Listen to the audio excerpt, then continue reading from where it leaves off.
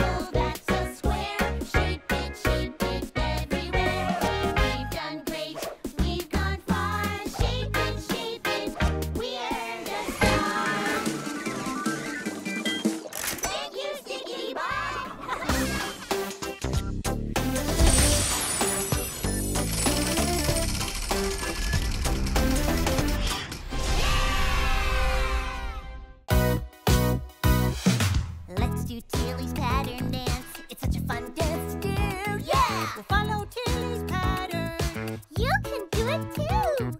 And, it goes like this. Jump one.